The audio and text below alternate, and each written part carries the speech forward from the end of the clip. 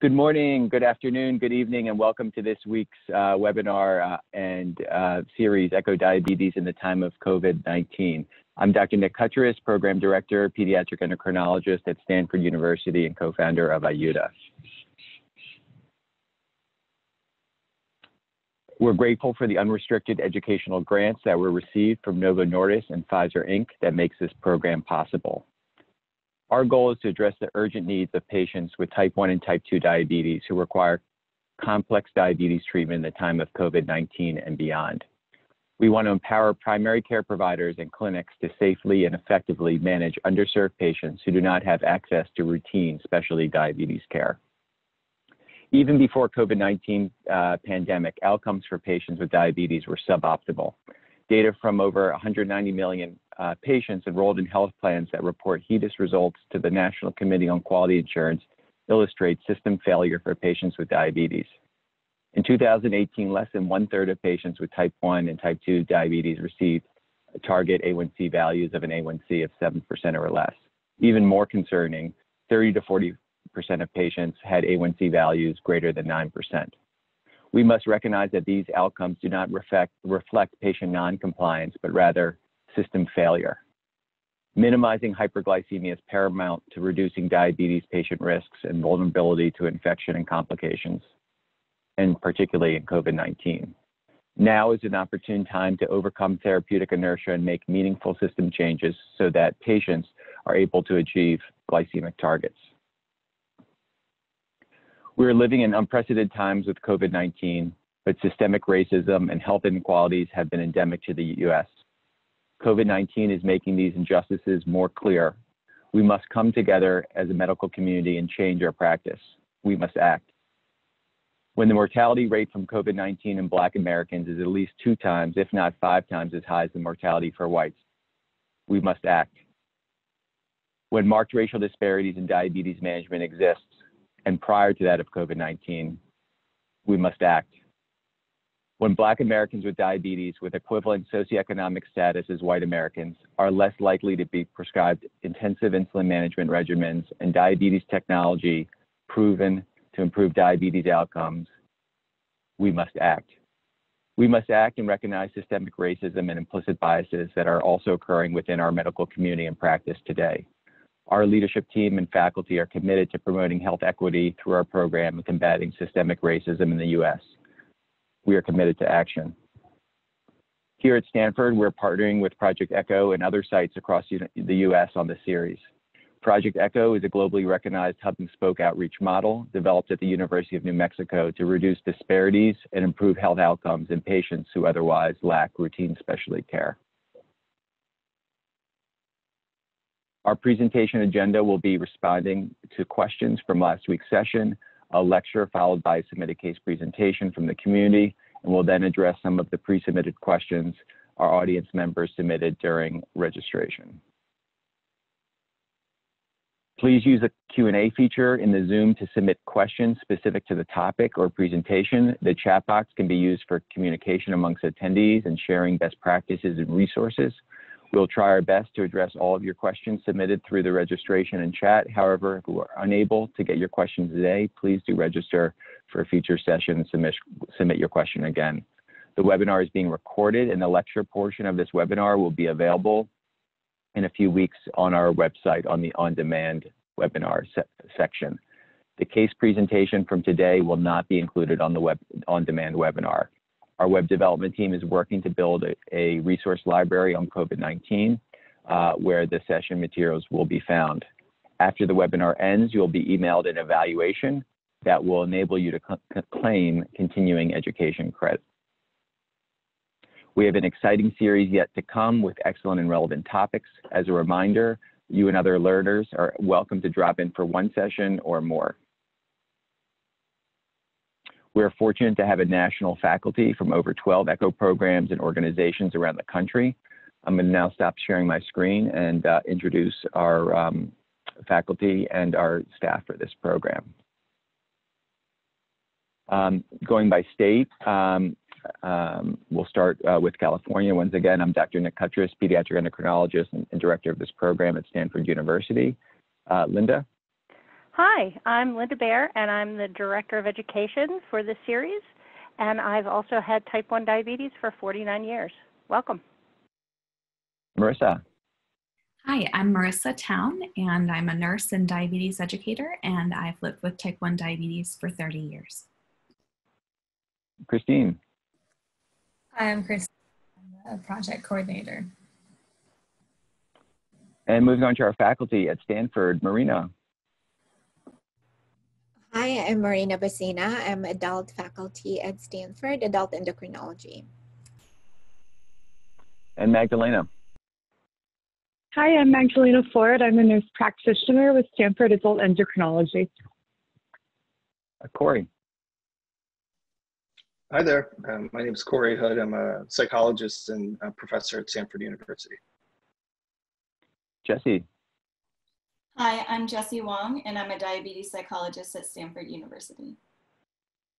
Rayhan. Hey there, guys. I'm Rayhan. I've had type 1 for 30 years. I'm an adult and pediatric endocrinologist at Stanford. And also in California, Jay. Hi, everybody. Welcome aboard. Jay Shubrook, primary care diabetologist at Touro University, California. And moving down to Florida, Eleni.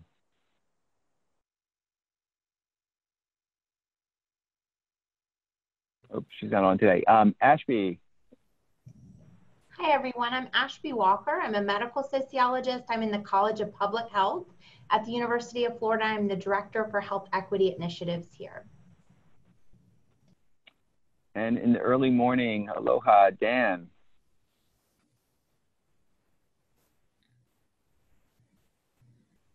Good morning. Uh, I'm Dan Saltman. I'm an associate clinical professor at the University of Hawaii and a primary care internist. I spent most of my career in um, in community working in community health centers. And to Iowa, Dave. Hi, my name's Dave Faldmo. I'm a physician assistant at the Siouxland Community Health Center and also serve as the quality director and uh, lead our ECHO project here and uh, work a lot with our social determinants of health. And down to Louisiana, Dragana. Hi, everybody. I'm Dragana Lovre. I'm an adult endocrinologist at Tulane University in New Orleans, Louisiana. And to Maine, Erwin. I am Erwin Brodsky. I'm um, an adult endocrinologist at the Endocrinology Diabetes Center of Maine Medical Center, and adjunct scientist at the Maine Medical Center Research Institute. And to uh, New Jersey, Mary. Hi, everyone. I'm Mary Bridgman. I'm a clinical professor at the School of Pharmacy at Rutgers University and an internal medicine clinical pharmacist at Robert Wood Johnson University Hospital in New Brunswick. Welcome. And to the ECHO Institute in New Mexico, Matt. Hi, I'm Matt Bouchonville. I'm an adult endocrinologist at the University of New Mexico. And to New York, Marissa. Hi, I'm an adult endocrinologist at SUNY Upstate Medical University in Syracuse, New York. And um, uh, back to California, Kelly, you want to introduce yourself? Yeah, hello, my name is Kelly Close, and I'm editor at diatribe.org. I have had diabetes for almost 35 years, and I'm privileged to be a patient representative on the faculty. Great, thank you all.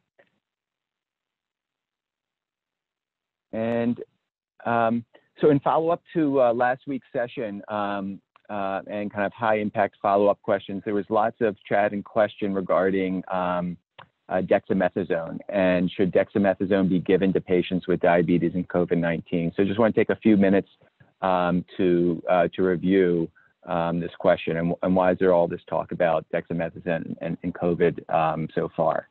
So preliminary and unpublished um, findings from the recovery uh, uh, study, which is a UK uh, study sponsored by their um, NHS. It was a, random, a randomized uh, controlled trial of hospitalized patients with COVID-19. Uh, they were randomized to multiple arms of standard care plus the arm um, compared to just standard care alone. And one of the study arms included dexamethasone, where patients were given um, six milligrams either IV or PO for 10 days or until hospital discharge. And their endpoint was mortality rate after 28 days. Um, and um, uh, there was a, um, uh, a release, a press release that went out um, uh, the other week, and the study was halted due to survival benefit. Um, and it showed that there was a uh, decreased mortality rates when dexamethasone was given in the arm who required supplemental oxygen um, and also mechanical ventilation. However, there was no difference in patients who did not require supplemental oxygen who received dexamethasone. Um, and in the preliminary results, the di- there was the, there was no reporting of diabetes subset and, and mortality uh, in there. Um, so these are just preliminary results. The, the, the, all the data has not been released. Um, and there's also uh, limited patients uh, who are enrolled in the pediatric population and, and, and pregnancy. Um, and so this is the, the summary of uh, the results that were, that were published. And as you can see, um, dexamethasone mortality rate decreased by about one third or survival rate improved by one third in patients on mechanical ventilation um, and um, survival rate also improved, uh, in, uh, improved, but less significantly in those on supplemental oxygen. Once again, those who required no oxygen, there was no survival benefits from dexamethasone, and diabetes subset was not reported in the preliminary results, so we don't know the implica implications of dexamethasone in diabetes. Now, dexamethasone is a glucocorticoid, and the half-life can uh, be 36 to 58 hours, um, and it's associated with hyperglycemia. Um, and so you add what we do know is hyperglycemia plus diabetes plus COVID 19 is not a good mix, and there is a well established increased risk of mortality with patients with hyperglycemia, diabetes, and COVID 19 infection. So even prior to COVID, there's a, you know, we should caution um, of the risk of DKA and hyperglycemia in the hospital, as many of you uh, know that can occur.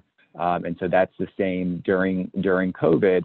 Um, and so whether we're talking about COVID or non-COVID, there, uh, there, there really needs to be preemptive mitigation of risk of hyperglycemia and DKA if dexamethasone or any other glucocorticoid um, is used in patients with, with, uh, with diabetes.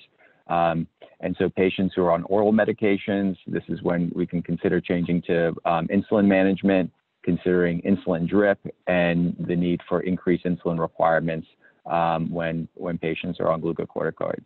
Um, we've also heard um, from our series on sick day management and COVID. I would uh, um, encourage you to uh, go back uh, to that talk where we also talked about holding SGLT2s um, uh, in patients who are hospitals as well and talked about insulin dose adjustments. and I think that's also a, a, a, great segue to our upcoming uh, didactic uh, right now.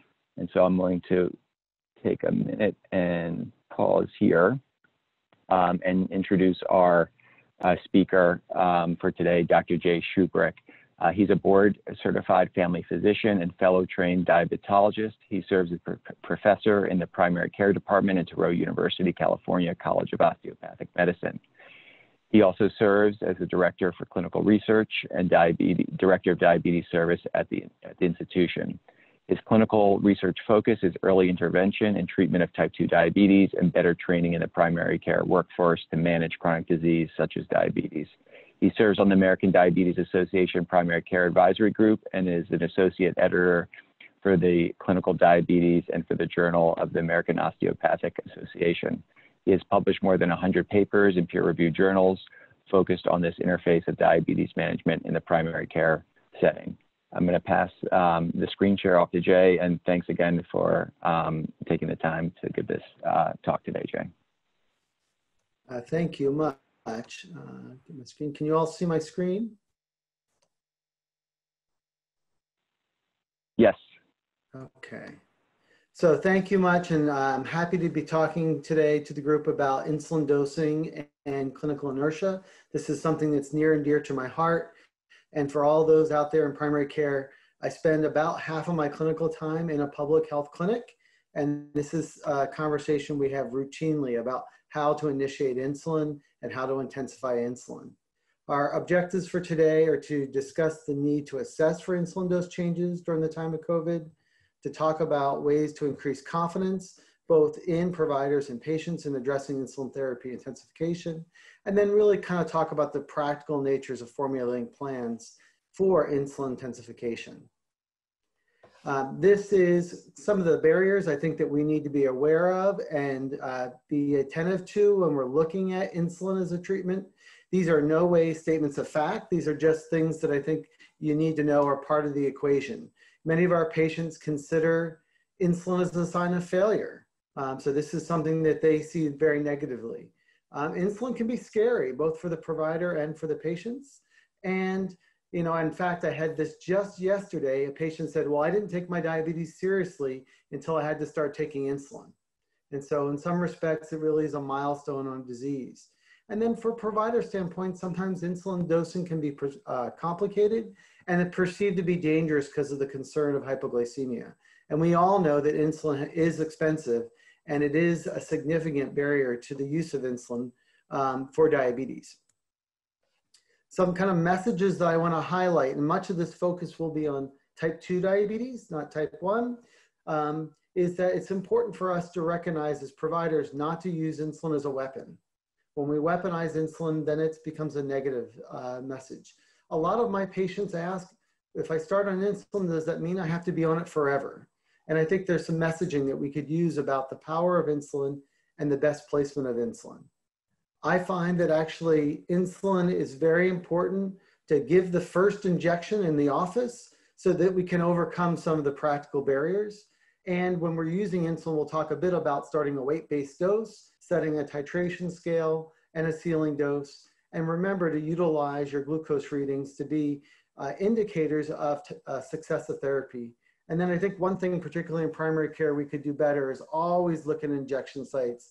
Sometimes uh, surprises an insulin response doesn't have to do with the insulin itself, but where we're putting it and how we're injecting it. Uh, this is the simplified American Diabetes Association algorithm. I always know that this doesn't look so simple to me, um, but what I want to highlight is that in the top right corner in the box is probably one of the most important messages. To avoid therapeutic inertia, if someone's not achieving goals, we should be titrating and intensifying therapy every three or six months. And so these are not a one and done. When you make a treatment, including when you're using insulin, we need to be using timely intensification. So the ADA does recommend that we intensify every three to six months if we're not at goal. Um, and anyone that's above 10% according to the ADA, insulin should be considered as one of the treatment uh, regimens which means that most people with type 2 diabetes would be on insulin in one to two years if they were not at goal. And that's certainly not been our clinical experience. Only about 31% of patients ever get their, or get their treatment intensified uh, in, a, in such a manner. And the mean time to insulin is over four years. And that's actually an improvement. It used to be 10 years. So we are doing better, but we have areas where we could improve upon more. And as we've talked about earlier, when we're looking at um, social inequities, we know that African Americans and Latino Americans are even less likely to get insulin when they need it. And so it is important that we recognize that this is an important tool and it needs to be utilized in a timely manner. Um, this is a, a, study that Steve Edelman uh, led that we worked on and we surveyed uh, patients and providers about the start of insulin. And the good news is both patient priority and pay, uh, provider priorities were the same, trying to maintain or achieve an A1C goal to, to, over time. There were some differences in the other top priorities, but they were all focused on, hey, let's use insulin and get to goal. But despite having that shared priority, um, there was a, a mismatch between the provider and the patient perspective of whether we achieved that goal. So 85% of the providers and only half of that uh, patients said they actually achieved that goal at 12 months. And, and many of the providers felt like the patient would be unwilling to do more, but 93% of those patients said they'd be very willing or somewhat willing to do more to achieve the goal. So patients want to see that goal as an important marker for them. When we look at intensification, and these next two slides are busy, it is important to recognize that at, at one year, those patients that were not at goal, the provider said, well, let's give them another six months to get to goal. And in fact, 40%, we'd even give them a year to get to goal. This is a very slow and, and frustrating process for the patients because patients want to get to goal quicker. And then 60% of those patients said that they felt frustrated about not achieving their goals. And frustration was high at the start of insulin. It was actually relatively low in that first three months, but it continued to increase up to a year when, they, when insulin intensification did not result in an achieved goal. So our patients care a lot about when they get insulin added, they want to see it to work. And when it was that, when we asked them about kind of the psychosocial aspects, two thirds of the patients felt like not achieving their goal had a negative effect on their emotional well-being, and 40% felt like it had a negative effect on their social and family life. And in fact, that meant that 22% discontinued insulin without consulting their healthcare provider, something that many of us as healthcare providers underestimated the power of. And the main reasons for discontinuing insulin were costs, side effects, often that was weight gain, or not making progress. So I think if we don't intensify basal insulin in a timely manner, we're helping our patients, um, well, we're increasing their frustration and we're more likely they're gonna stop that treatment. I only have one or two more slides of bad news and we'll get to the good news.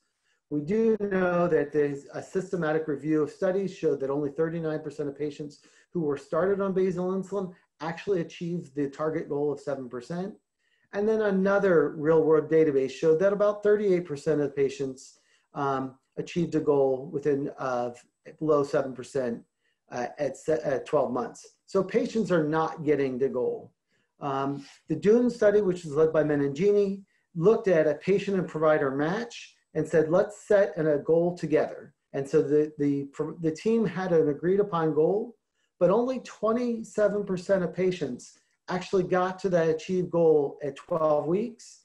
And when you looked at how the insulin was titrated, the titration was rather mild. You know, for new users, there was only a nine unit increase in dose. And in continued units, there was only a five unit increase in dose. So part of not achieving the goal was not intensifying um, that target glucose. And then finally, um, again, there was a study showing that if you didn't achieve your target glucose at three months, you are not likely to achieve your target glucose at 24 months.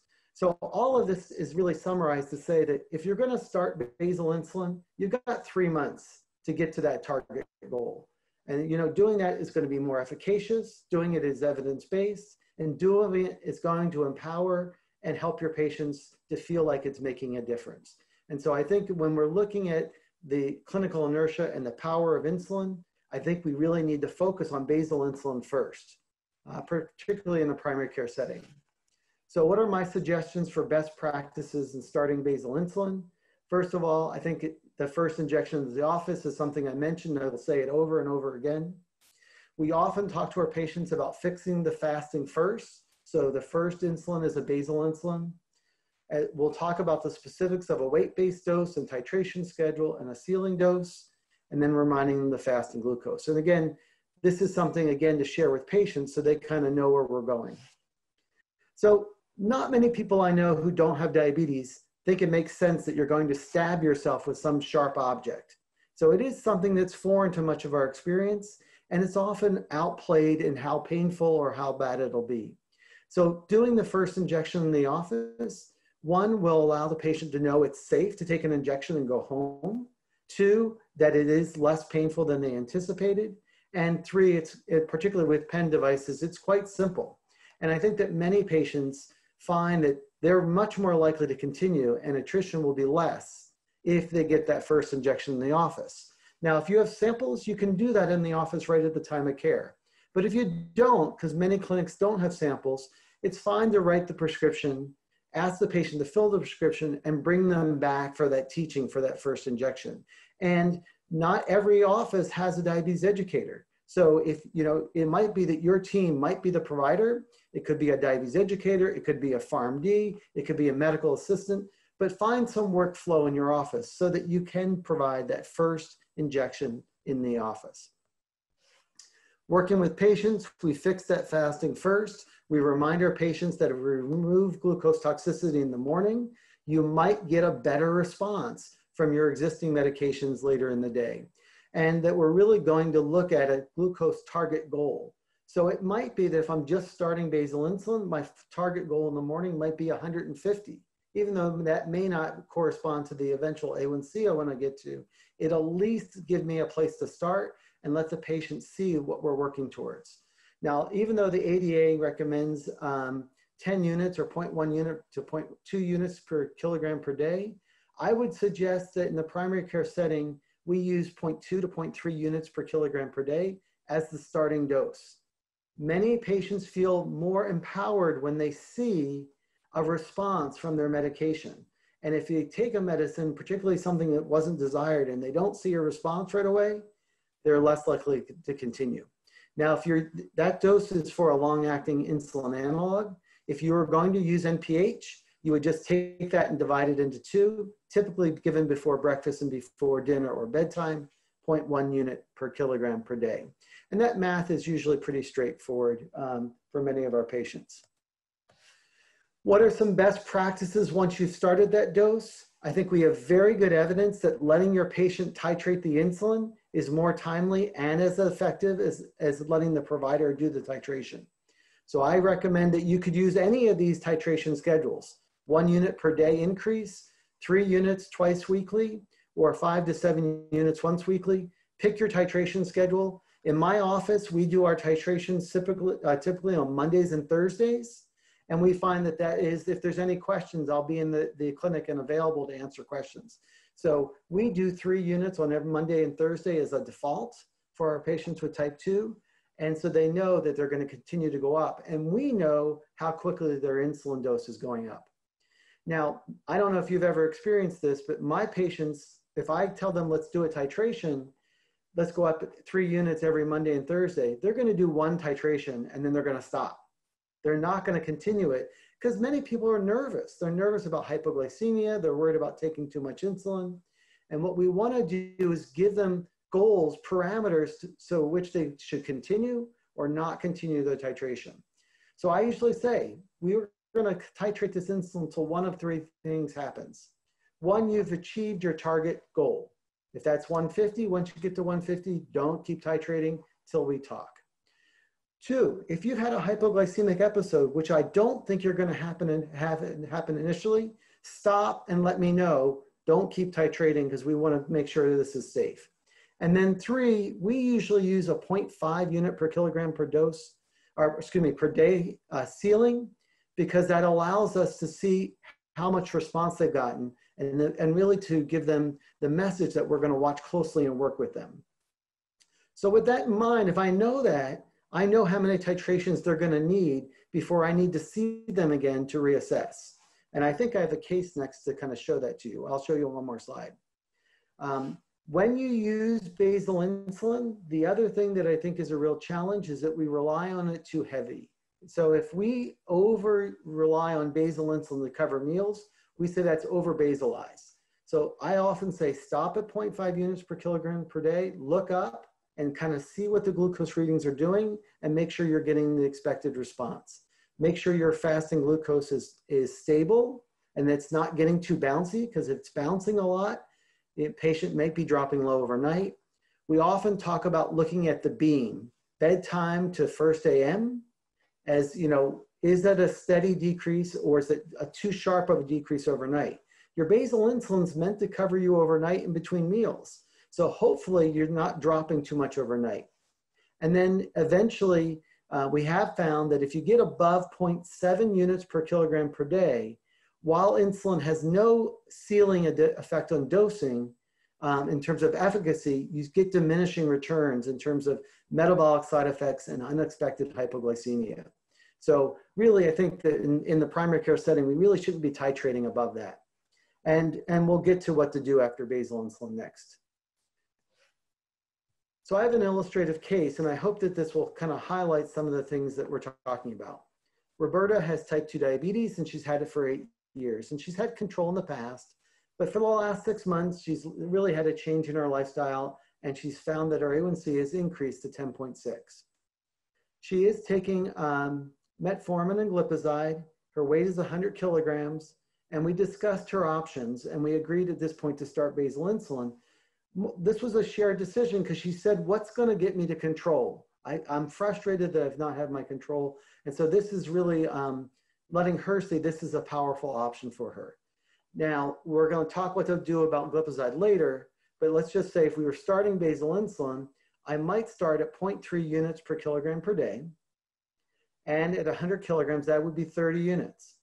I'll reassure her that even though that sounds like a lot of units, that's an effective dose to help get her glucose down. And let's just say we had corresponding fasting glucose readings that were running in the 180 to 200 range. Um, I'm going to give the first injection in the office. And for her, we talked about options and we're going to increase by five units every Monday and Thursday. So I know that we're shooting for a fasting glucose below 150, but certainly not below 100. And I want her to call if she has any hypoglycemia. With this titration schedule, because I've given her, you know, the titration uh, schedule, the starting dose, and the ceiling dose of 50 units per day, she knows that she'll have four titrations that she's going to do. Not more than that. So this is not an indefinite titration. So I'm going to actually schedule a two week follow up to see how she's doing. Patients really need and, and deserve that kind of supportive touch so that they as they go into this new step, that, that you're doing it with them. And so by doing this, you're going to let her know that we're doing it together. Now, uh, just for the sake of argument, I do think it's important for you to know that um, she is on glipizide, which is a sulfonylurea. When you add insulin, there is the potential for hypoglycemia. For me personally, at 10.6, I'm probably not going to stop glipizide till we get a little closer to home. If I'm about 1 to 1.5 within my target, I might reduce glipizide, but I probably wouldn't stop it. But that's a judgment call. I think some providers would stop it just because they're concerned. Just know you're going to need to use more insulin if you remove the sulfonylurea at the same time you start insulin.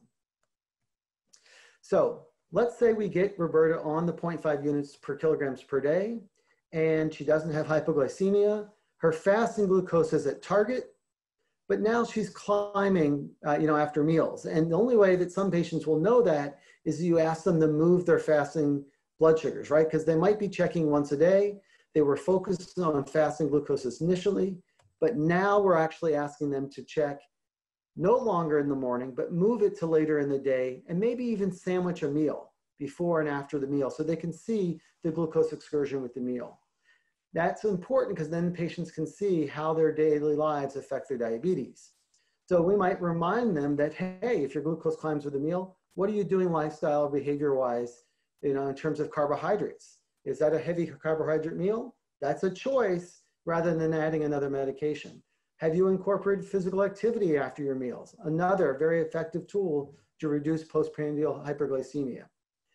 If you're looking at intensifying treatment in the primary care setting, this is again an opinion. I feel like you should be always looking at a GLP-1 before you're looking at mealtime insulin. I feel like there are non-glycemic benefits. In many respects, it can be done safer and it's simpler. If you're going to look at insulin, we have evidence now that a basal plus one injection regimen is as good as a basal bolus regimen in type 2 diabetes.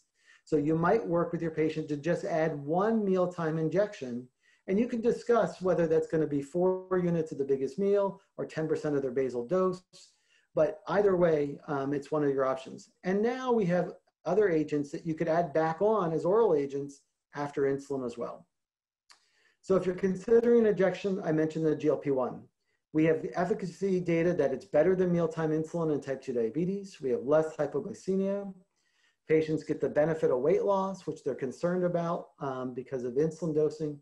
And we know that there are non-glycemic benefits, as you've heard earlier, specifically looking at cardiovascular and renal. What are the disadvantages of GLP-1? Well, first, they're expensive. They're all expensive, and you, they, you're going to have to make sure that you have costs addressed as well as coverage. And then certainly you want to be uh, cognizant of the contraindications or warnings of GLP-1s, including pancreatitis, gastroparesis, and the rare medullary thyroid cancer. I mentioned that if, if you looked at basal plus one, consider uh, doing one meal a day. Believe it or not, it doesn't matter what meal. You know, I always felt nervous about saying whatever is the biggest meal because it might be that you don't know what is the biggest meal that day. Um, I find that starting with breakfast is, is efficient for people who eat breakfast. Other people, their dinner is by far their biggest meal, and that's how they choose. I like personally to use 0.1 unit per kilogram per day. I showed you the other uh, slide where ADA talks about four units uh, per meal or 10% of your basal. And then we have other agents like SGLT2 inhibitors um, or an oral GLP-1 that could be used to help do mealtime coverage after you've got the fasting glucose down. Again, you have to decide is that something that you can get covered? Is it something that's not too costly? But it is an option to bring back in. And many patients are excited when you can bring back oral agents after you get the fasting glucose down. And never forget the power of behavior change as one of your treatments. Um, and patients feel really excited when they can do something and you don't have to intensify their therapy. So, you know, even though we always get focused on doing it, let your patient be part of the answer. So I think in summary, I wanna cover the following things. In terms of basal, if I were asking primary care to, to intensify insulin, focus on getting our basal insulin right. You got three months from the time you start basal insulin to really have evidence-based efficacy that's going to help the patient and help you achieve goals. Give the first injection in the office, fix the fasting first, start with a weight-based dose, set your titration schedule, give a parameter for stopping titration, including that ceiling dose. Psychologically, that's so important for the patient to know what the stop point is. And then uh, if you're looking at post-basal coverage, uh, move your glucose readings to pre and post meals to determine the mealtime need. Don't forget about lifestyle interventions and then make your decision between basal plus one, which is one injection of fast acting insulin, basal plus GLP-1 or basal plus oral. And then if you're looking at an injection, please consider your GLP-1 as your first um, mealtime injection. I have references here for the audience in terms of what is from the ADA. I have some primary care focused readings as it relates to starting and intensifying insulin.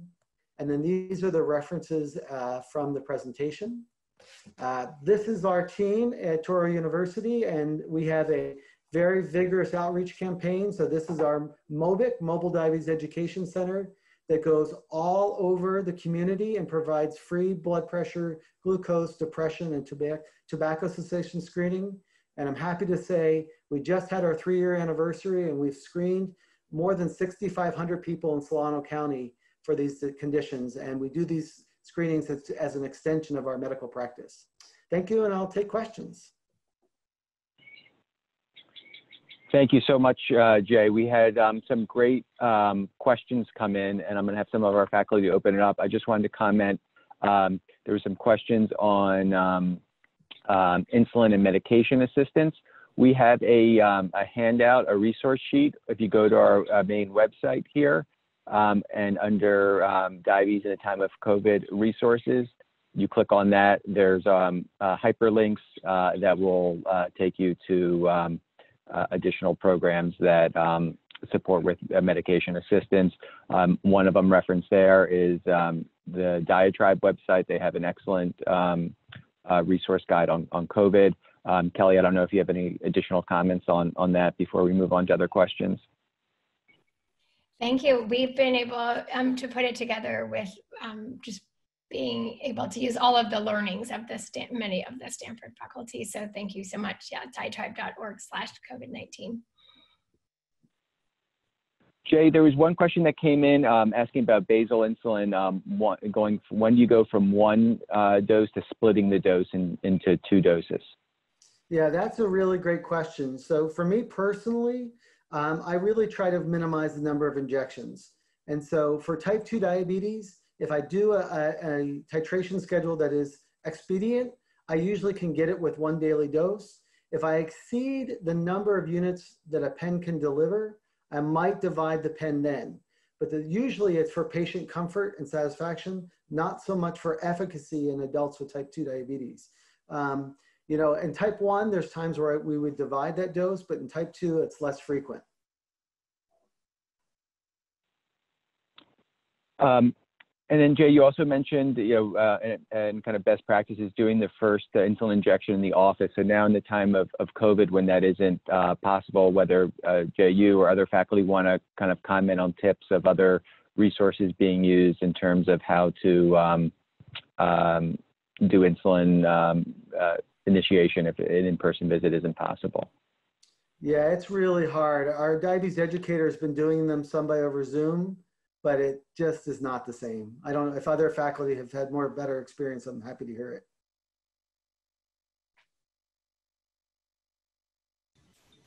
Um, this is Dragana Lovre. Um, I just wanted to let you know there's uh, a long time ago we used to get the little um, demo skin uh, boxes. So if you bring it to the camera very close and you kind of use the pen to show it, it works a little bit better, I think, than trying to show on your own skin. So if somebody has um, those, or I guess you could use a fruit or anything else, it might be just easier to zoom in and show it to them. I would say that we, I give myself dry injections often to show patients that. And I think that they're always, I like it. So I took injection, I didn't scream, I didn't shout, you know, and so I think it's often very powerful for them to see how quick it is and how easy it is. Um, and, and yes, sometimes people need an additional step, but I think people need to see how quick and easy it is. And, and that first step is easy to overcome.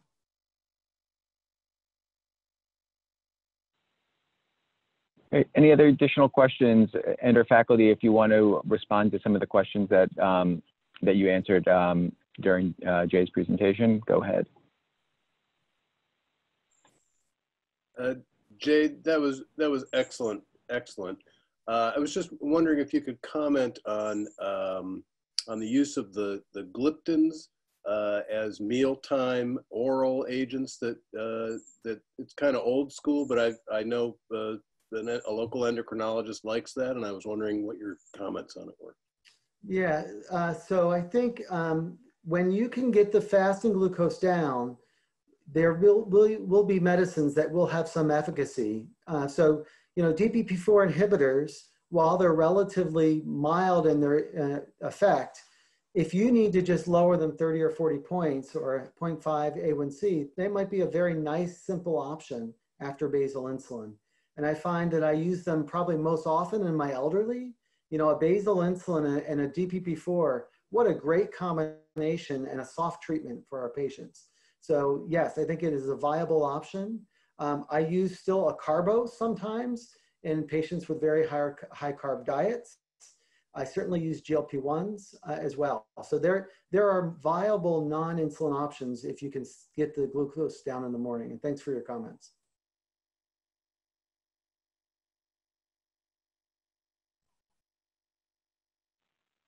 Do you want me to talk about any other questions? Go yeah. ahead. Yeah, please go ahead, Jay there was a question about the combination of basal insulin and GLP-1 receptor agonists, the fixed ratio combination. These are wonderful medicines. They have very good efficacy and they're very well tolerated. Um, in my world, they're not covered very well, so it's quite hard to get them. If you have an insurance that you that will cover them, I think it's great um, because they do get patients down below 7% in a very reliable manner. My main challenge to that is I often want to use insulin quickly, but also take them off insulin if I can. And if you use a fixed ratio, you've kind of made a commitment to a long-term combination. Um, so very effective option, absolutely works well. Um, if it's covered, great. But for many of my patients, it's not, a, not an option early on.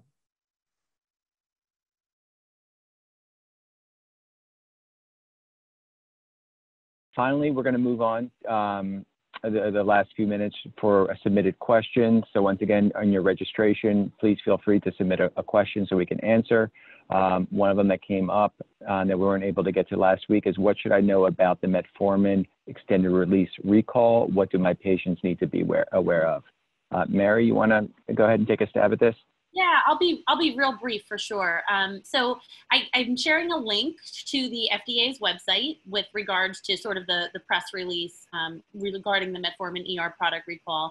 Essentially, on May 28th, uh, the FDA recommended a voluntary recall of certain metformin extended release products, and then that recall was expanded a bit um, as of I think it was June 11th. Essentially, it's not all metformin ER products that have been recalled. It's five manufacturers, and it varies between one lot or a, a series of, of lots, essentially batches of product of the 500 and 750 milligram strength. Um, essentially, it is a voluntary recall. This is done out of an abundance of caution. It was due to the fact that there were certain tests performed that detected levels of that N-nitroso-dimethylamine, that NDMA contaminant, uh, which is a, a, known probable human carcinogen, and it was found or detected at levels above what the FDA considers to be sort of um, permissible or tolerable we're all exposed to this NDMA contaminant. It's found in meat, it's found in dairy, it's found in, in our diet. Uh, it's very similar to what we saw with um, ranitidine, for example, or losartan. I think the important factor is we're not likely to see metformin ER disappear from the marketplace like we saw with ranitidine because there are not all batches of, or, or not all manufacturers that have been affected. Um, it's unclear why this contaminant is entering these products, whether it's something due to the manufacturing or packaging process.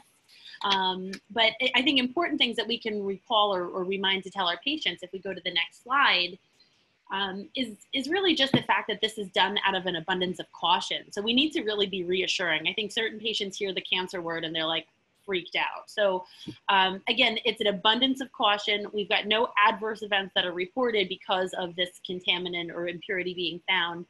Um, it's also worth noting that the FDA is asking all metformin ER manufacturers to test products now before they enter the marketplace. So we're not likely to see recalls or, or we shouldn't see new prescriptions that have levels of NDMA above what is considered to be acceptable moving forward. Patients should be encouraged to contact product uh, pharmacies for confirmation of their product and perhaps a replacement if necessary. Uh, patients who are taking recalled metformin should continue their medicine until they have the replacement product in hand. This isn't, you know, cease using your therapy immediately kind of recommendation. And, you know, again, we're not expecting shortages because not all metformin ER manufacturers are being affected at this time. Also, for patients who are really uptight, we can consider switching them over to the immediate release formulations because metformin IR hasn't been affected by this recall um, to date. So just good things to sort of know and be aware of. Great. Thank you so much, uh, Mary. Once again, um, if you would like to submit a question, please do so um, on the registration. Um, and I want to uh, thank everyone for joining our session this week.